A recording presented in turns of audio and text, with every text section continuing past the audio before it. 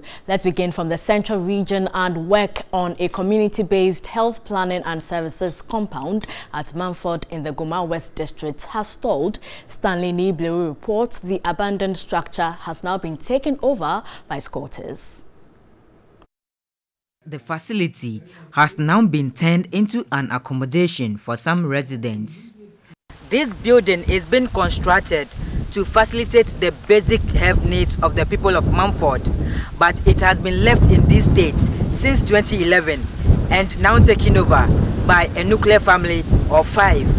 The building has been housing the residents for more than three years. The government-initiated project was 80% complete at the time of being abandoned. It was without frames, doors and windows.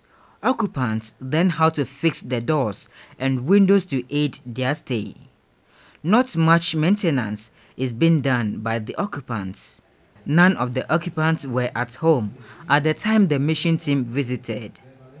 Cement blocks meant for construction of a soak-away pit for the facility is also used as switch stoves.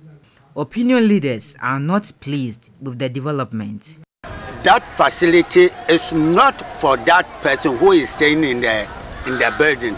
It is a government facility for the people. And as at now as we are speaking you will bear with me that it is only that one family which, who is enjoying the facility instead of the people in the community due to lack of completion of that facility. So we are asking the government to facilitate the completion so that the whole community will benefit from it. Chief of the community is confident the occupants would be evicted.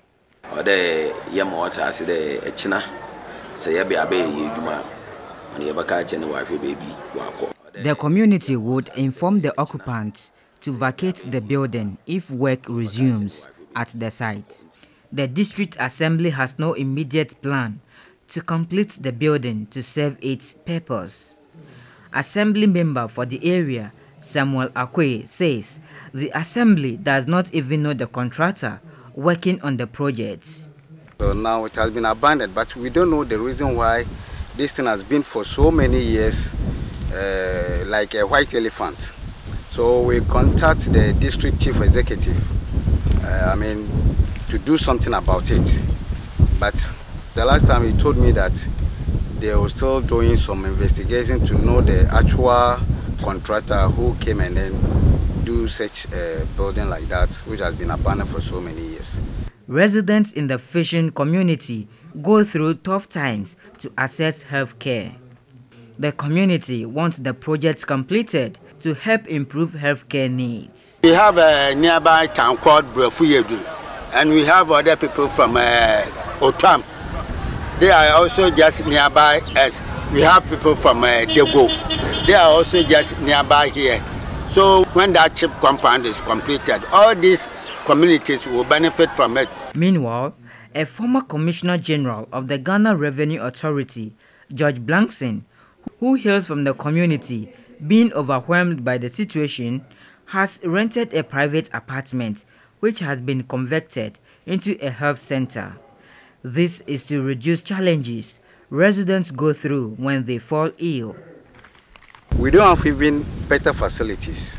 So at times we have it difficult for even the health workers to, I mean, do proper work for the community. The health center, which runs 24-hour service, has been operational for close to two years following the deployment of health workers to the facility.